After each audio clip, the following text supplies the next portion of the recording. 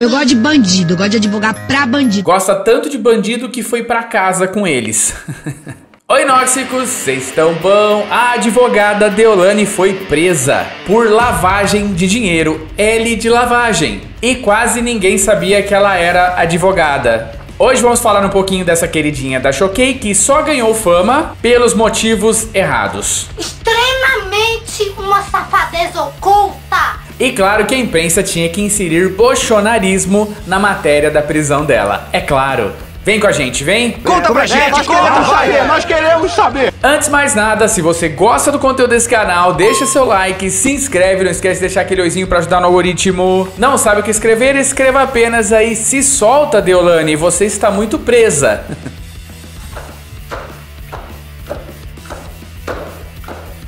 Aí está a doutora Deolane. Que bom. Você pode ser um membro desse canal clicando no botão Seja Membro. Membros assistem antes ao conteúdo desse canal e planos a partir de 3 real. 3? Importante é que você tire o escorpião do bolso. Não fique preso nessa sua cadeira velha. Eu entendi a referência. Eu tenho a solução para você, ou melhor, o João tem a solução para você. E essa solução é rápida, prática e barata, vai te economizar tempo e dinheiro. Assim você compra a sua cadeira certa pela primeira vez e fica satisfeito, melhorando inclusive a sua disposição no trabalho. Lembrando que a consultoria é feita sobre cadeiras office ou gamer. Então, se você estiver precisando de cadeiras para o seu escritório, essa consultoria serve também. Não deixa para depois, tá? Melhore a sua qualidade de vida.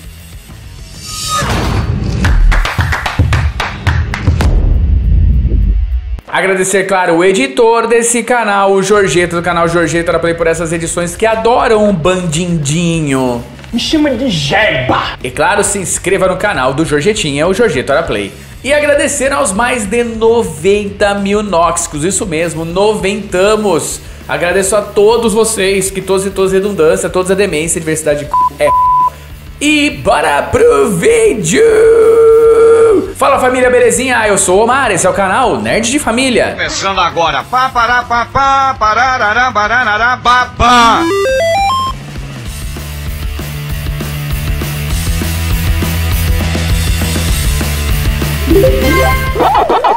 Antes de eu começar esse vídeo, lembrando aqui que o Faguito está precisando da sua ajuda, né? Qualquer valor que você puder, coloca aí, Jorgeta, o Pix na tela, né? É o infinitepix88@gmail.com para ajudar, porque tivemos lá um acidente na casa do Faguito, ele teve que reformar grande parte do chão da sala dele e ficou ali um valor que ele não tem. Quem puder, qualquer valor, um real, dois reais no Pix, o que você puder, tá? Lota essa conta corrente aí para chegar aí no valor, eu acho que ficou em mais ou menos em 1.500 reais e ele já arrecadou ali um pouco mais de 300. Vamos ajudar o Faguito. Bora! Hora do show, pô! Mas enquanto isso a gente fala da Deolane.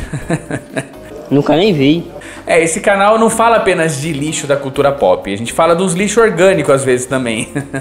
Vou processar. Mas vamos falar da prisão da advogada e influenciadora digital, a Deolane, né? Quando eu falo Deolane Bezerra, eu lembro do Caco Antibes, não sei porquê. A galera gosta do nome francês, assim, né? Deolane. Ah, isto é coisa de pobre. Mas ela foi presa ali numa operação da Polícia Civil com o nome de Integration, suspeita ali de lavagem de dinheiro e jogos ilegais. A mãe dela também foi presa, mas passou mal e acabou sendo atendida no hospital. Essa operação sequestrou bens que somam ali aproximadamente 2 bilhões de dólares, mas não é só da Deolane, tá? Já estão dizendo que vão processar por fake news por causa de 2 bilhões, não. É a, é a operação toda, é muita gente envolvida. Que coisa, não? E na prisão ela escreveu essa carta aberta aqui, ó, que eu vou ler para vocês.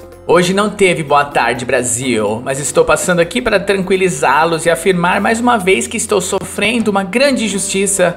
É notório o preconceito e a perseguição contra minha pessoa e minha família, mas isso tudo servirá para provar mais uma vez para todos vocês que não pratico e nunca pratiquei crimes. Confesso para vocês que estou destruída ao ver minha mãe passando por tamanha humilhação. Eu passaria um ano, 10, 20 ou mais para provar minha inocência, mas com ela não. Peço orações para todos vocês. Obrigada pelo carinho. Já já tô aqui de novo. Esquece que a mãe tá enjaulada, só para descontrair. E lembrando, todos os impostos estão pagos. Não sei se é ela mesmo, né? Mas parece que sim, que a imprensa está divulgando, né? Uma, uma carta de próprio punho. Mas é uma certa defesa e uma satisfação ali a galera do Instagram dela, sei lá qual rede social que ela usa. Agora ela deve estar usando só o X, né? De xadrez.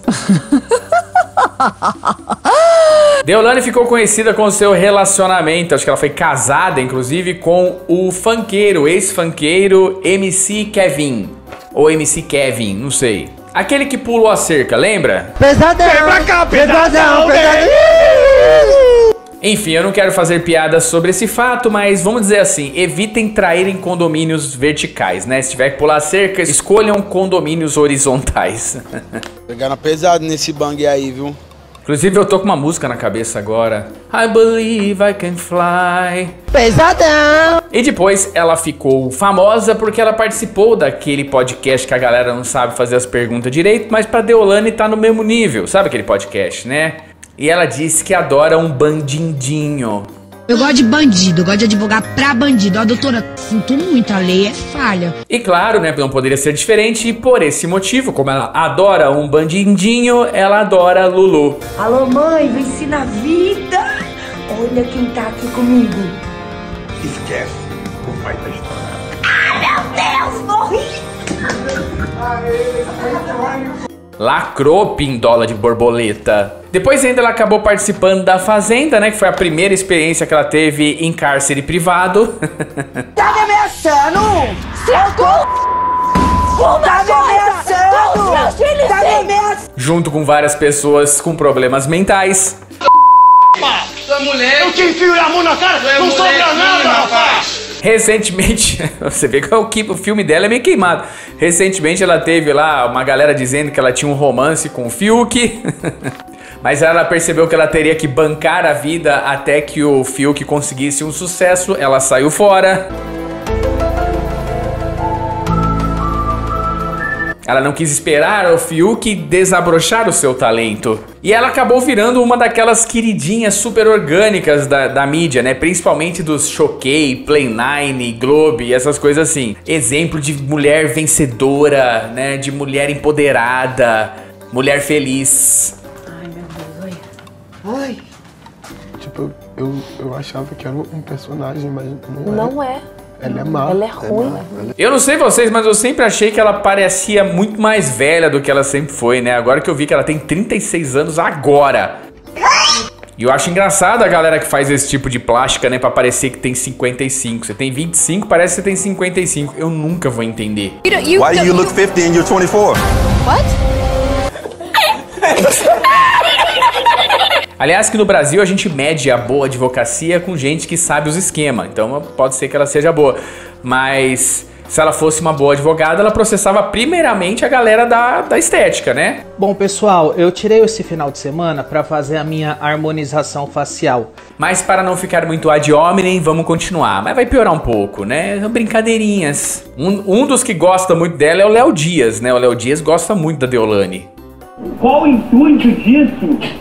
Não entendi, porque tem gente que vem, tem surto e tira o Instagram do ar. E claro, né, a Deolane, acho que ela tava, né, no meio dos negócios aí dos tigrinhos, daquelas super rifas. Eu não sei se é exatamente isso, mas falo de jogos ilegais. Tem uma galera sendo presa por isso agora. O meu canal recebe toda hora e meio dessa galera querendo anunciar no meu canal. Nunca vai acontecer. E pode discutir uma hora, né? Não, melhor não, meu bumbum não combina com o xadrez. Uau. O quê? Sua pele é tão lisinha, tão macia, parece até um bebê. E a UOL, né? Sempre nossa querida UOL, né, no grupo Folha, que deu bola dentro, né? No negócio aí dos vazamentos ali, dos jagunços, do Voldemort. Teve coragem ali, mas vai ser sempre a UOL. A gente não pode tirar ali a UOL de dentro da Folha e nem a Folha de dentro da UOL. E já fez aquele link da matéria sem fazer o link verdadeiro. Já quis fazer aquele link para trazer na matéria em que traz uma extrema apoiadora, inclusive amiga de Janja, né, que foi presa de, por fazer o L de lavagem, trazer algum bolsonarista pra, pra equação, né, pra dizer que é, é o neném, né, é o neném, é tudo igual, é tudo a mesma coisa, e trouxe ali na matéria o bolsonarista Gustavo Lima, né? Dizendo que avião do Gustavo Lima também foi preso nessa operação. Só não diz, por exemplo, que o Gustavo Lima ele aluga seus aviões e o status daquele avião é normal né? Não é um avião de crime. Quem estava praticando o crime pelo jeito era ela. Não tinha nada a ver com Gustavo Lima. Essa eu te. Opa! Ó o fantasma. Mas pelo menos no corpo da matéria, na capa eles não iam fazer, mas no corpo da matéria existe essa ressalva dizendo que não tem ligação nenhuma do cantor com esses crimes, tá? Mas foi só para gerar a headline, como disse o Pablo Marçal nesse épico confronto ali no Roda Solta que, que eu é, é por isso que eu tô te falando, o nível de ignorância do que tá acontecendo, pegar a headline faz com que você fique vendido na informação. Aproveita, comenta e se solta, Deolane, você está muito presa e deixa o like nesse vídeo de fofoquinhas. Vamos continuar? Por favor. Eu tenho uma fofoca pra lhe contar, a senhora gosta de fofoca? Não, não gosto de fofoca, não. que, que fofoca. Deolane que disse que Lulu era o papai que ela não teve. Quem? Lula? É. Por que que essa? Pai que eu não tive. Recentemente ela se meteu numa polêmica com o Beisola, vocês lembram disso? Que gastou toda a grana doada com picolés de carne. Ai, que delícia! Aí ela veio a público dizendo ali, né, pro, que o Beisola gastava o dinheiro como ele quisesse. Ela simplesmente doou, mas o, o, dinheiro ele ia gastar como ele quisesse, né? Não ia, não ia impor nenhumas condições. Que ele poderia, inclusive, enfiar o dinheiro no. Ela não disse exatamente isso, mas não precisava ser tão literal, né, Beisola? Alô, mãe, venci na vida. Cresceu tanto, né, com a influência de Lulu que foi viver o que o Lulu viveu por 580 dias ali, até chegar na mão dos imparciais do Supremo. Já sabe, né, Deolane? O segredo é chegar no Supremo. Foi pro Supremo, pessoal! Tamo livre! Vai pro Supremo, vamos sair daqui! Mas eu fico muito perplexo, né? Porque eu acabei de descobrir que ela também era DJ. Essa aqui também é uma canivete suíça, né? Depois quer sentar. Ela tem muitas caras, se é que você me entende. Mas ela não só era DJ, como a gente tinha que acreditar então que realmente né? A fortuna dela vinha que ela recebia cachê de 200 mil reais para fazer uma festa. Eu achei que ela era tipo Caetano Veloso, né? Que você investia granas altas no Caetano Veloso ali, principalmente verbas públicas, porque ele é bom demais. Jamais imaginaria que esse valor não era plausível para Deolane, né? 200 mil pra uma DJ como ela é. Achei que ela era tipo Chopin das DJs. Ou mesmo essa fortuna dela, né? Que aparece sempre aí, ela sempre abastada, fosse porque realmente ela é a melhor advogada eleita pela Choquei. Que a gente sabe, né? No Brasil, inclusive eu sou advogado, não sou atuante, mas sou.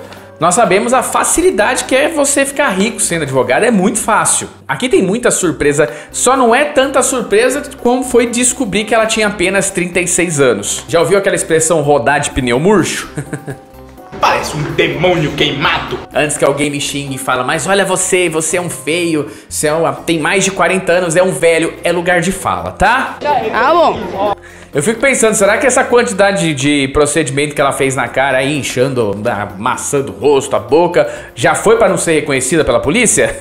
Ou foi também por falta de aviso da mãe, né? Por falta de aviso dela dizer que essa idolatria, dela querer ser esses ícones políticos que tem problemas com a justiça, talvez não fosse uma boa influência assim na vida da Deolane. O problema é que a mãe estava junto e foi presa também. Aliás, eu achei ela um pouco indelicado nesse meme aqui, zoar o ex-marido. Ai, meu Deus, morri! Eu vou cair! Chega! Aliás, ela tem muitas fotos com a nossa maior blogueirinha do Brasil, né? Nossa primeira dama. Aqui é a parceria, né? De Deolane e Janja era forte o negócio. Aliás, o próprio Bolsonaro na campanha de 2022 comentou num post que tava, né, Janja, Lulu e a Deolane, comentou ali feitos um para o outro. E claro, né, militantes jornalistas já pegaram esse post e publicaram aquele tipo de manchete que a gente conhece. Deolane é alvo de ataques bolsonaristas após foto com o presidente Lula. Escondendo, claro, a idolatria por bandidos que ela sempre disse ter. Ela falava que gostava de bandido. Pô, mais sinal do que isso, E claro que já começaram a usar o escudo progressista, né? Porque ela era um ícone da Empoderate, né? Ela era um, uma vitrine do feminismo radical, né? De alguém que ama o Lulu, uma empoderada que venceu na vida sozinha, né? Esse L não é de Lulu, não. E sempre, inclusive, se caracterizou com uma índole bem duvidosa, né? Até para escolher uns namorados aí, né? Fiuk. Você tem que entender sua posição. Quem você é. Sim. Você é uma mulher branca, privilegiada. Pode esperar que ela vai usar de todas as maneiras esses discursos progressistas aí que são carimbados da nossa querida OAB, né, usando ali alguns bordões de misógenes, que só estão falando disso dela porque ela é uma mulher, porque a posição de poder dela deixa os homens desconfortáveis. Pode esperar. Né, frasezinhas da Barbie vão ter aqui. Você é responsabilizada pelo mau comportamento dos homens, o que é absurdo, mas se disser isso, é acusada de reclamar demais. Uma hora dessa, os meninos da UOL já estão produzindo memes. Pena que não tem mais onde postar, né? Ninguém sabe se vai pra Blue Sky. Aliás, preciso fazer um vídeo da Blue Sky e do nosso espertinho, né? Parece que ele foi classificado ali como conteúdo violento, uma coisa assim. Parece que não tá dando muito certo. No X ele se dava melhor, mas não tem mais X, porque o X parece que caiu realmente porque soltaram nudes da Marcela Temer. Se foi isso, um dia a gente descobrir que a razão maior era essa, ia ser muito engraçado. E pelo menos seria um bom motivo para censura. Incêndio no canavial. Tô de olho, hein? Minha única tristeza, né, que eu já sei, eu estou escrevendo este vídeo na quarta-feira, ele vai para no ar, ele vai ao ar na sexta, né? O Jorgita vai editar na quinta. É! E pelas amizades, ó, pelas amizades, pelas influências que a Deolane pode ter, tanto na política como no judiciário, pode ser que até sexta ela já saiu. Será? Afinal de contas, ela não foi né, ali no quartel com uma bíblia embaixo do braço, né? Ela não criticou um tribunal aí, né? Ela não falou que não acredita tanto numa eleição. Então, ela, o crime dela é bem mais leve, né? Lavagem de dinheiro, jogos de azar. Pff, quem que prejudica isso? Quase ninguém, né? Acaba apostando e perdendo fortuna nisso aí. Tranquilo, né? Tranquilo. Acho que até lá ela já saiu, então.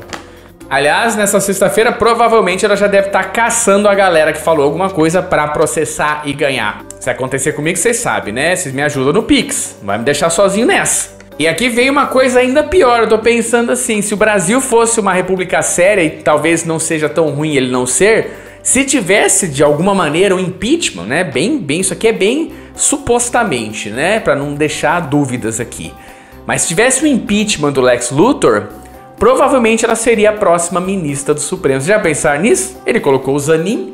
Por que, que ele não colocaria a mulher que adora bandidos lá? Fica aí a pulguinha atrás da orelha de vocês, tá? Deolane no Supremo. No, God, please, no! No! Antes de terminar este vídeo, vamos falar do game. Ficou passando ali atrás e... Ah, Jorgeto, hoje eu lembro, hein?